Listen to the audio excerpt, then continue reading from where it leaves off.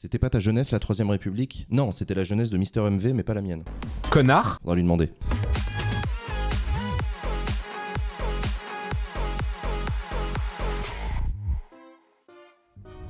sociale. Nous inscrirons dans la Fait- Constitution Faites un sourire pour la photo de Julien Bayou. qui fait écho à la règle d'or climatique pour enfin cesser de prendre à la Terre bien plus que ce qu'elle peut nous donner. Nous passerons à une agriculture Olivier Faure, premier secrétaire du Parti Socialiste. Je veux commencer par une confession. Ah, J'ai voté Emmanuel Macron, comme de très nombreux Françaises et Français qui lui ont accordé leur suffrage. au second tour, il faut préciser. Second tour, au second tour. Précise au second tour, parce que là, c'est badant, là.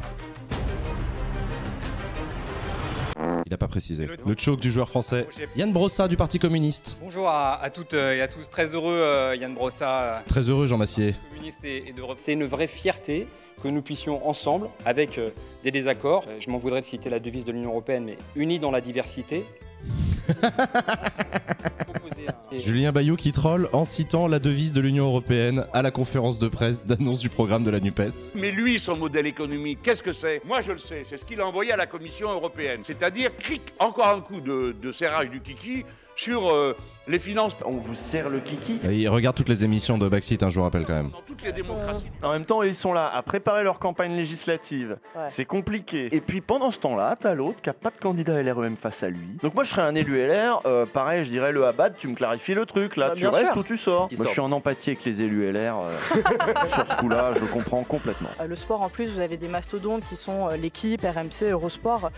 Et c'est aussi une nouvelle forme, une autre forme de journalisme. Léa, elle a Lé- reniflé Léa le papier. Reniflé le magazine. les revues. Léa Feuillette. Et du coup, c'est une plus, nouvelle forme de bon. journalisme. Je vous promets que là, les gens qui ont entre 25 et 30 ans, qui sont dans des postes de fous au niveau euh, des finances, des trucs comme ça, ils ont tous joué à Dofus dans leur enfance, hein, sans déconner. Euh, on a tous subi des arnaques à foison. Et du On coup, aujourd'hui, ça continue. Ils se sont fait niquer sur les cryptos, les mêmes. Ouais, c'est ça. Euh, Coucou à vous. un as- Bisous. On a fait les Ah, j'ai peur. Voilà où on en Aïe, est. aïe, aïe, aïe. C'est Ah. toujours Adèle qui dirige. Léa plus 2% en troisième position. et euh, Je suis Mélenchon en fait. Ouais, c'est ça. Sacha, il y a des points à marquer hein? Ouais, ouais, avec- ce sera toujours plus que Valérie Pécresse, mais euh, Fabius avait fait un bouquin qui s'appelle Je ne mangerai plus de cerises en hiver. Alors que les fraises des bois, c'est plutôt un truc d'hiver. Bah peut-être. Ah Mais oui. en tout cas, voilà. Là, c'est. Ah bon? D'hiver, ouais. ouais. Alors là, je en dis ce ça moment. comme ça avec beaucoup d'aplomb, mais j'en sais rien. Moi, j'ai entendu. justement, faut pas bouffer de fraises des bois Ah non, faut, faut pas. Non, bah non. Moi, j'ai Je entendu qu'en ce moment, je là, il y avait des fraises partout. Parce que je suis nouveau en c'est des fraises d'Espagne. Ah bon? Beaucoup. Des... mais c'est de pas, fraises les... d'Espagne. c'est pas les fraises des bois, ça n'a rien à voir. Les fraises des bois, c'est plus euh, petit, août, ça, les fraises septembre. des bois. Ouais, c'est des les toutes petites, avec un goût de chewing-gum un peu. Les gariguettes, mais les gariguettes, c'est du Elle est bien super cette émission. Hein. Ouais, elle est sympa. C'est trop bon les fraises des bois, mais c'est surtout qu'en fait c'est plus dans les pays scandinaves, Ah, non Un peu comme toutes les berries. les baies, ouais, Ouais, c'est ouais, ça. c'est Ah, en ça, ouais. général. Quel organisme français a son personnage dans Dofus? Dofus, on Est-ce que c'est. euh, de... Oui, Dofus, ça va. Est-ce que c'est l'URSAF Non, ça va pas. Réponse A. Est-ce que c'est Est-ce que c'est le CPF Réponse B? Est-ce que c'est la NPE Réponse C? Ou est-ce que c'est Oh, le CSA NPE. Réponse D Oh la NPE. T'imagines la NPE Ah, qui la se dit on va aller NPE. les chercher, ces Non, branleurs. c'est. On non, va aller les NPE, chercher dans le jeu Le CPF c'est quoi? Compte Compte personnel de personnel de formation. formation. Mais c'est pas du tout un organisme, c'est un dispositif. Oui, bon, d'accord. Tout de suite. oui, Oh, les technos Oh, les technos La NPE c'était pas un dispositif, Voilà, c'est un c'était partenariat organisme. public-privé dans le cadre de la décentralisation, d'accord Oh merde Déconcentration. Déconcentration, pardon, excuse-moi. 60% pour la NPE, c'est la bonne réponse. Le chat, Yeah, bravo. C'est ANPE, qui est un personnage à l'hôtel de vente qui t'aide à trouver. Voilà, Et apparemment, ça a été remplacé raison, par Paul Emploi. Ça va devenir une meuf qui s'appelle France Travail. Ah oui Ah oui En 2021, qu'a offert Jean Castex au pape François Réponse le A, un maillot de foot. suis à 3 sur Réponse 3, là. B, la Bible pour les nuls. Réponse C, un cassoulet de Castelnaudary. Réponse D, un reste de la flèche de Notre-Dame. Comment Un petit bout de charbon. Tiens, c'est Violet-le-Duc, c'est vachement sympa. Qu'est-ce que vous offririez au pape, vous, si euh, vous le rencontriez Bah si t'étais Jean Castex. Bah, pas, pas un des quatre en tout cas. Ce qui est marrant, ce serait un reste de cassoulet de Castelnau. Super, ouais. Il avait pas fini. Tiens, il est encore bon, ouais, je l'ai mangé hier, il est vachement bon. dans le train Eh, par contre, tu les mets au frigo, hein. Moi je vais dire le maillot, je vais rester dans le sport. Maillot de foot, Mais voyage c'est le pape diplomatique. hein, quand même. Mais oui, mais. euh, C'est pas Jean-Marie Bigard que tu mais- vas voir. Ouais Le chat a voté le maillot de foot comme Ah, Sacha et c'est la bonne réponse. Eh Bravo le chat, vous êtes fort. Oh là là Changer la constitution, trop long, autant trouver un prétexte pour la suspendre. Ça veut dire quoi la suspendre? Remarque, tu me diras, c'est ce qu'avait proposé Francis Lalanne, hein un coup d'état militaire. Qu'est-ce que c'est d'autre? Une suspension Mauvaise idée. Mais non, mais c'était pas une mauvaise idée, c'était au nom du peuple. Il fait ça, il ça pour nous. Vous êtes ingrats, vous. hein. Pourquoi est-ce que vous voulez continuer à vouloir que ce soit le peuple lui-même qui décide de ce quel est son intérêt, alors que Francis Lalanne vous dit que lui, il le sait quel est l'intérêt du peuple? Je vous trouve, mais vraiment. Comme ça quoi. Lui il le sait. Vous savez pas, regardez, vous débattez là, vous êtes là avec vos petites, mes petits bulletins, les grosses urnes et tout, on n'est pas d'accord et tout. Lui il le sait. Salut Pépibin, on parle de coup d'état militaire. Mais dans notre intérêt. Ce qui est bien aimable. Qui est le peuple? Eh bah Francis Lalanne Ce que tu comprends pas dans cette phrase? Et toi Jean Massier, tu le connais l'intérêt du peuple? Bah est-ce que le, le peuple le connaît-il lui-même? Contre Kems. Ah ah, qu'est-ce que tu vas faire? Chut, chut, chut. T'as vu comment je l'ai esquivé celle-là Le peuple, c'est quoi notre intérêt?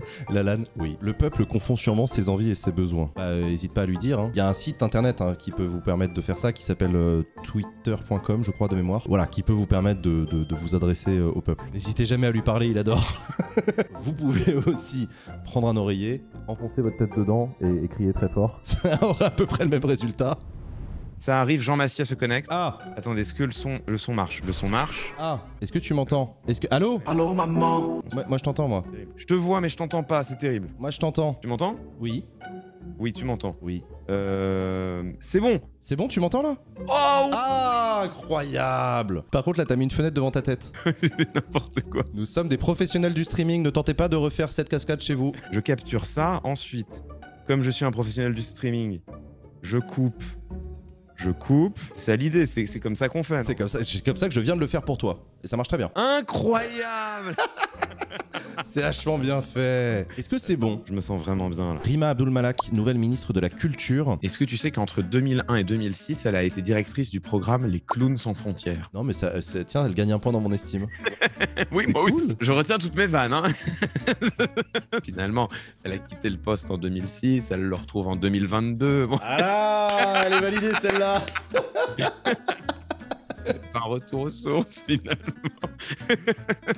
Ah, c'est les grosses têtes, hein. Oui, c'est vraiment En ça. même temps, on est en stream depuis 2h30, les gars, on commence à lâcher un peu là. Quand on dit transition énergétique, je me demande s'il n'y a pas aussi toute la question de la sobriété énergétique. Est-ce qu'elle s'occupera que de la production d'électricité ou est-ce qu'elle s'intéressera aussi aux questions de la basse consommation de... C'est là où si j'ai si, c'est là où c'est un peu piquant, je te répondrais que selon moi ce serait cohérent, mais que dans ce cas-là, je vois pas trop ce que va branler Amélie de Montchalin, tu vois.